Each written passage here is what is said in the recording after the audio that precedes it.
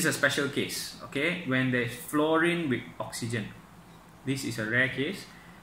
Now, fluorine is more electronegative. Fluorine is the only one that is more electronegative than oxygen. So now, instead of oxygen gaining the electrons, fluorine will gain the electrons. Okay, so fluorine will gain electrons to become fluoride ion, which has a charge of 1 minus, which means the oxidation number of fluorine in difluorine oxide is minus 1. So what is the oxidation number of oxygen then? So we have to do the calculation again. Sum of oxidation number of all the elements will equals to 0 in a compound. Ionic or covalent, it doesn't matter. So try it yourself first.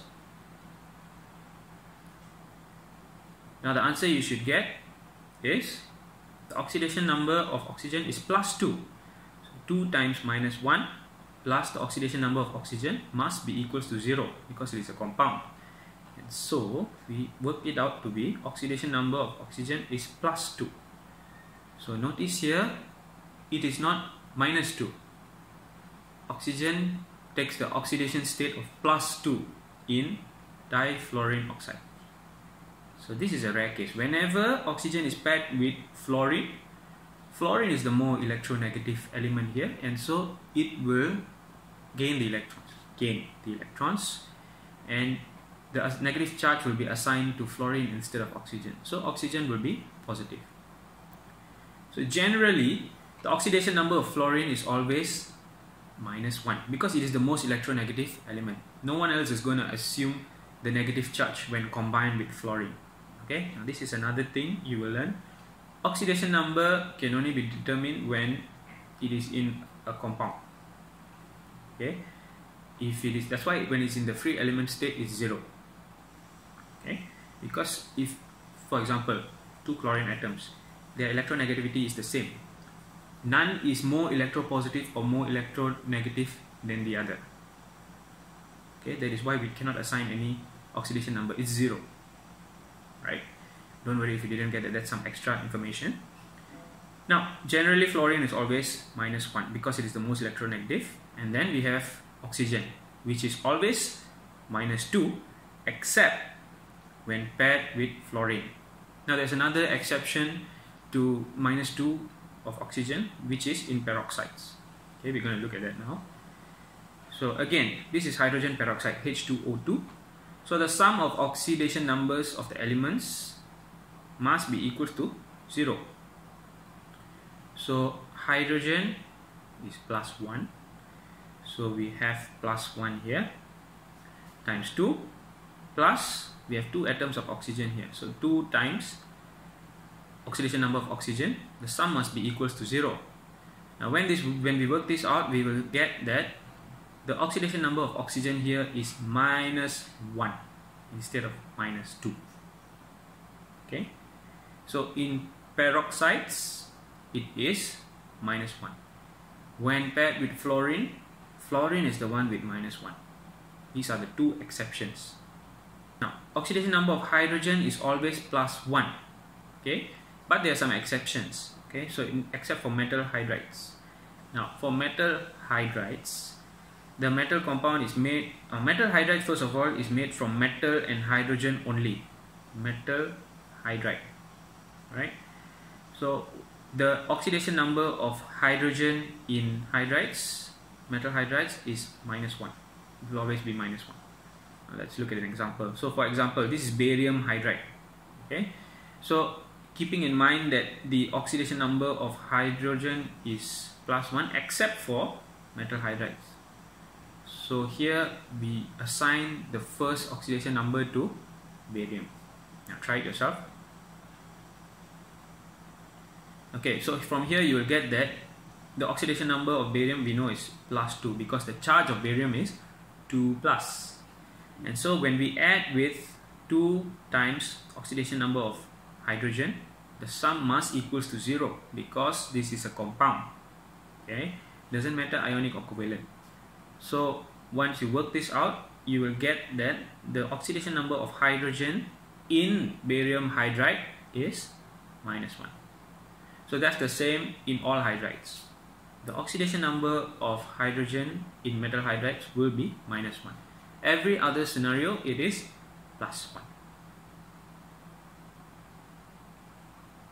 Okay, now another generalization.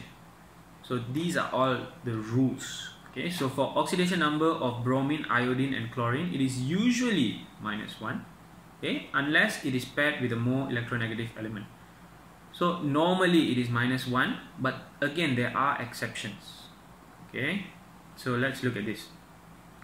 So we have chlorine dioxide here.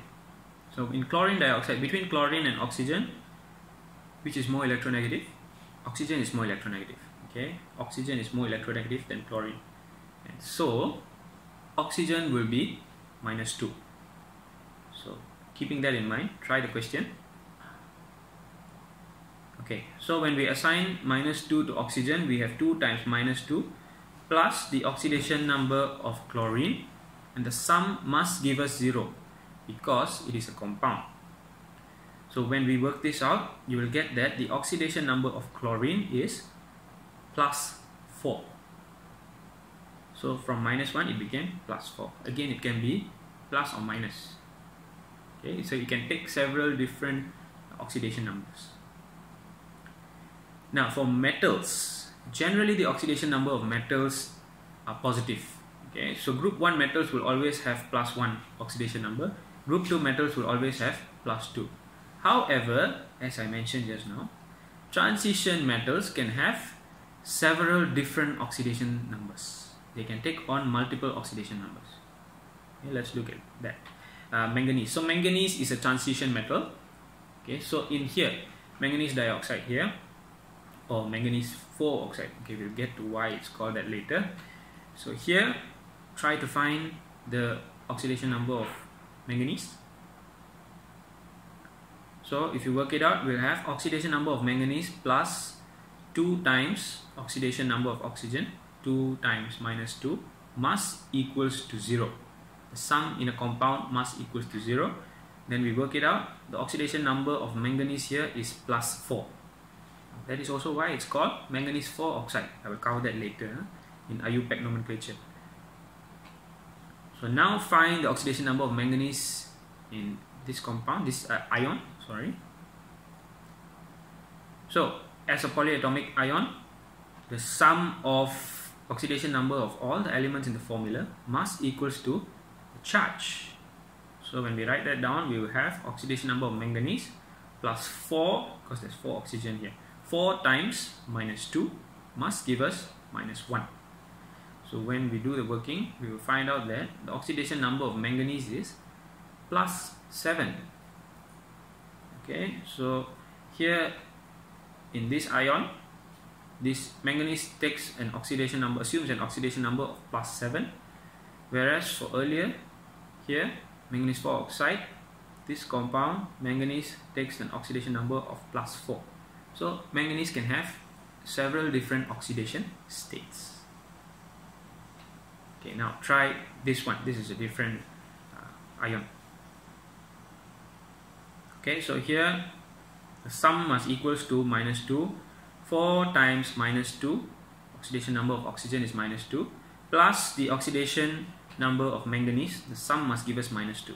So when we work it out, we will find that the oxidation number of manganese is plus 6. Okay, I hope you're familiar with how to do the working by now.